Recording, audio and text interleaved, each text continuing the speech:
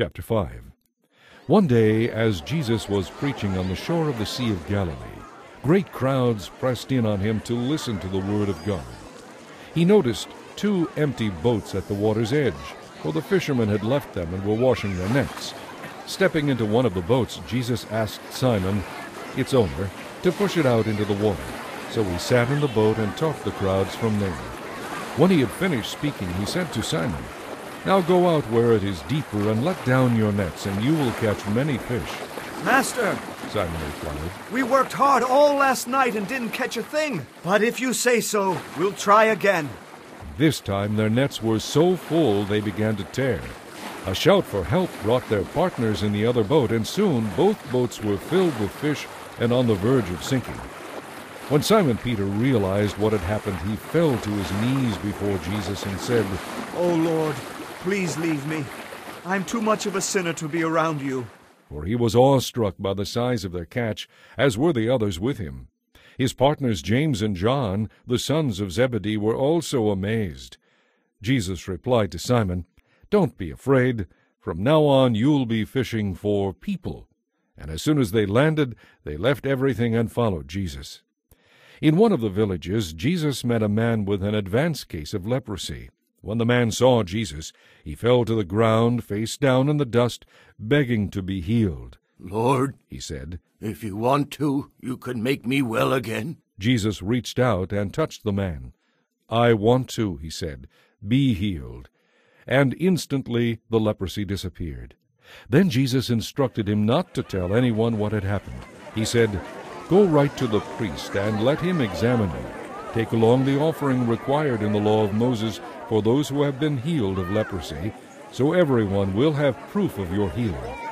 Yet despite Jesus' instructions, the report of his power spread even faster, and vast crowds came to hear him preach and to be healed of their diseases. But Jesus often withdrew to the wilderness for prayer. One day, while Jesus was teaching, some Pharisees and teachers of religious law were sitting nearby. It seemed that these men showed up from every village in all Galilee and Judea, as well as from Jerusalem. And the Lord's healing power was strongly with Jesus. Some men came carrying a paralyzed man on a sleeping mat. They tried to push through the crowd to Jesus, but they couldn't reach him. So they went up to the roof, took off some tiles, and lowered the sick man down into the crowd, still on his mat, right in front of Jesus. Seeing their faith, Jesus said to the man, Son, your sins are forgiven. Who does this man think he is? The Pharisees and teachers of religious law said to each other. This is blasphemy. Who but God can forgive sins? Jesus knew what they were thinking, so he asked them, Why do you think this is blasphemy? Is it easier to say, Your sins are forgiven, or get up and walk? I will prove that I, the Son of Man, have the authority on earth to forgive sins. Then Jesus turned to the paralyzed man and said, Stand up, take your mat, and go on home, because you are healed. And immediately, as everyone watched, the man jumped to his feet, picked up his mat, and went home praising God.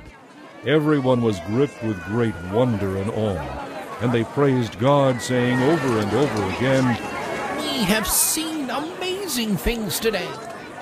Later, as Jesus left the town, he saw a tax collector named Levi sitting in his tax collection booth. Come, be my disciple, Jesus said to him.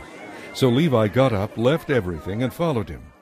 Soon Levi held a banquet in his home with Jesus as the guest of honor.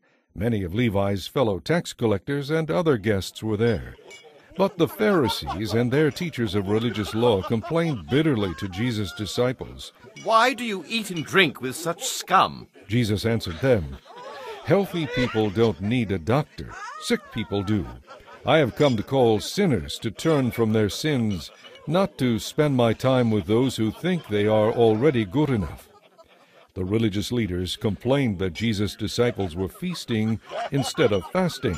John the Baptist's disciples always fast and pray, They declared, and so do the disciples of the Pharisees.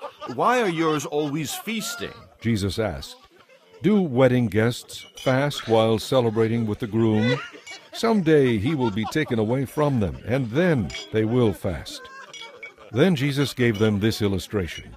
No one tears a piece of cloth from a new garment and uses it to patch an old garment, for then the new garment would be torn and the patch wouldn't even match the old garment.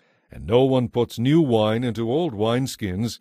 The new wine would burst the old skins, spilling the wine and ruining the skins. New wine must be put into new wineskins. But no one who drinks the old wine seems to want the fresh and the new. The old is better, they say.